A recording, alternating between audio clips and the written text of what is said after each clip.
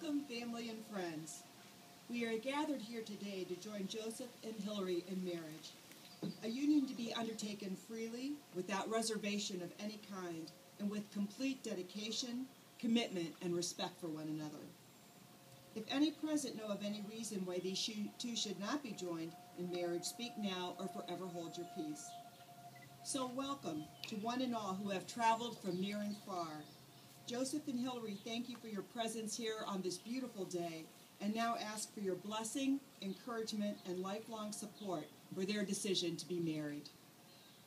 Marriage is perhaps the greatest and most challenging adventure of human relationships. No ceremony can create your marriage. Only you can do that. Through love and patience, through dedication and perseverance, through talking and listening, helping and supporting, and believing in each other. Through tenderness and laughter, through learning to forgive, learning to appreciate your differences, and by learning to make important things matter and to let go of the rest. What this ceremony can do is to witness and affirm the choice you make to stand together as life mates and partners.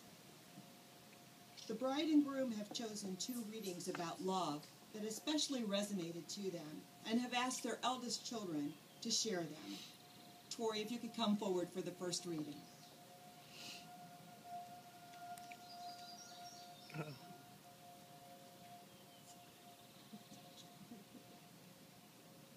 The reading from the Word of God. Love is always patient and kind. Love is never jealous. Love is not boastful or conceited. It is never rude, and it never seeks its own advantage. It does not take offense or stir up grievances. Love does not rejoice at wrongdoing, but finds its joy in the truth. It is always ready to make allowances, to trust, to hope, and to endure whatever comes. Love never comes to an end. As it is, these remain faith, hope, and love,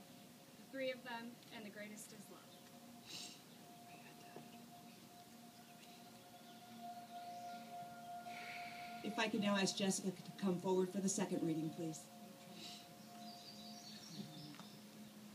I love you, not only for what you are, but what I am when I'm with you. I love you not for what you have made of yourself, but for what you are making of me. I love you for that part of me you bring out.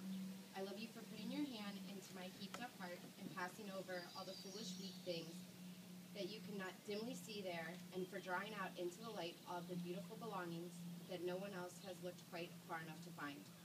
I love you because you are helping me to make a lumber of my life not a tavern but a temple, out of the works of my everyday, not a reproach but a song. I love you because you have not done more than any creed could have done to make me good, and more than any fate to make me happy. You have done it without a touch, without a word, without a sign. You have done it by being yourself.